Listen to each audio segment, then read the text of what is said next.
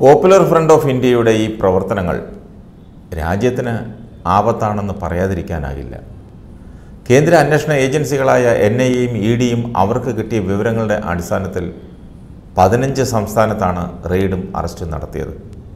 നമ്മളതെല്ലാം കണ്ടതാണ് കേട്ടതാണ്.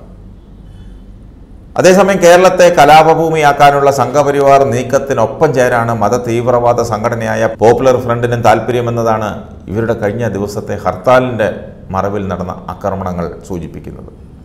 എന്തും ചെയ്യാൻ മടിയില്ലാത്ത കുറച്ച് ആളുകൾ നിരത്തിലിറങ്ങി വാഹനങ്ങൾക്ക് നേരെ കല്ലെറിഞ്ഞും കടകൾ അടിച്ചു തകർത്തും പോലീസിനെ ആക്രമിച്ചും ഭീകര അന്തരീക്ഷം സൃഷ്ടിച്ച് ജനങ്ങളെ ഭയപ്പെടുത്താൻ ശ്രമിക്കുന്നതാണ് കേരളം കണ്ടത്.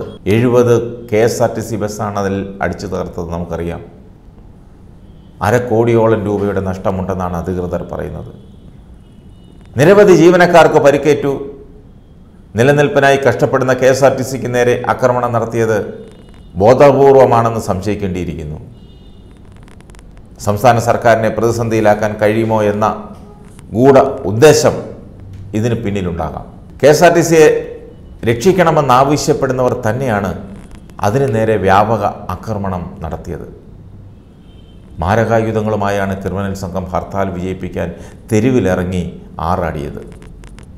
സംഘബലമില്ലാത്തവർ മെയ്ക്കരുത്തിൽ ഹർത്താൽ വിജയിപ്പിക്കാൻ ശ്രമിക്കുന്നതാണ് നമ്മൾ കണ്ടത്.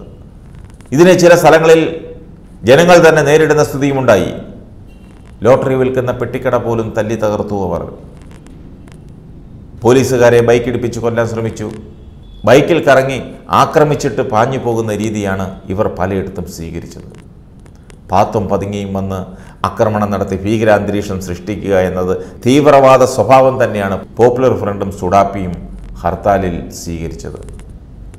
പോപ്പുലർ ഫ്രണ്ടും അവരുടെ രാഷ്ട്രീയ സംഘടനയായ സുഡാപ്പിയും മത തീവ്രവാദ സംഘടനയാണെന്ന് സി പി എമ്മും എൽ ഡി എഫും ഇടതുപക്ഷ പാർട്ടികളും മുമ്പേ പറഞ്ഞതാണ്.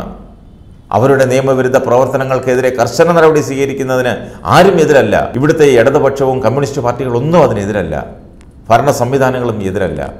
എന്നാൽ ഇപ്പോഴത്തെ റെയ്ഡിന്റെയും അറസ്റ്റിന്റെയും ഉദ്ദേശശുദ്ധിയെക്കുറിച്ച് പല കോണികളിൽ നിന്നും സംശയം ഉണർന്നിട്ടുണ്ട്. വരുന്ന ലോക്സഭാ തെരഞ്ഞെടുപ്പിന് ഒന്നര വർഷം മാത്രമുള്ളപ്പോൾ സംഘപരിവാർ അജണ്ട നടപ്പാക്കുന്നതിന്റെ ഭാഗമാണോ ഈ കോപ്രായങ്ങളൊക്കെ നടന്നതെന്ന് സംശയിക്കുന്നവരുണ്ട്.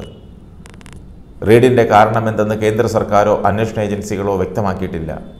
അതേസമയം മിന്നൽ റെയ്ഡും നേതാക്കന്മാരുടെ അറസ്റ്റും നടത്തി പോപ്പുലർ ഫ്രണ്ടിനെയും സുഡാപ്പിയെയും ആക്രമണത്തിന് പ്രേരിപ്പിക്കുകയല്ലേ കേന്ദ്ര സർക്കാർ ചെയ്തതെന്ന് ന്യായമായും സംശയിക്കാം. അങ്ങനെ സംശയിച്ചാൽ കുറ്റം പറയാൻ ഒക്കുമോ? രാജ്യത്തെ ജനങ്ങളുടെ ക്ഷേമത്തിനായി ഒന്നും ചെയ്യാതെ കോർപ്പറേറ്റ് മൂലധന ശക്തികളുടെ താല്പര്യം മാത്രം സംരക്ഷിക്കുന്ന ബി ജെ പിക്ക് അടുത്ത തെരഞ്ഞെടുപ്പിലും അധികാരത്തിൽ വരണമെങ്കിൽ വിദ്വേഷം വളർത്തി കലാപം സൃഷ്ടിക്കണം രാജ്യത്ത്.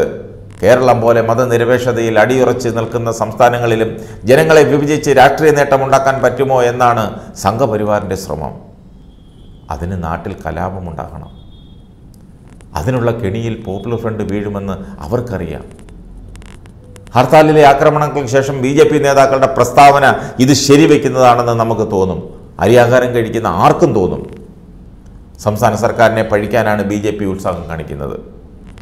ഭൂരിപക്ഷ വർഗീയതയെ താലോലിച്ചാണ് ബി ജെ പി പ്രവർത്തിക്കുന്നതെന്ന് എല്ലാവർക്കും അറിയാം.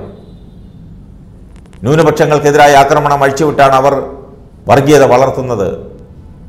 സംഘപരിവാറിന്റെ ഹിന്ദുത്വ അജണ്ടകൾ ന്യൂനപക്ഷ വിഭാഗത്തിനിടയിൽ അരക്ഷിതാവസ്ഥ ഉണ്ടാക്കിയിട്ടുണ്ട്. അത് നല്ല രീതിയിൽ ഉപയോഗപ്പെടുത്തിയാണ് ന്യൂനപക്ഷ തീവ്രവാദ സംഘടനകൾ സ്വാധീനം ഉറപ്പിക്കുന്നത് ഇവരുടെ പ്രവർത്തനങ്ങൾ ഭൂരിപക്ഷ വർഗീയതയെ ശക്തിപ്പെടുത്തുകയും ചെയ്യുന്നു.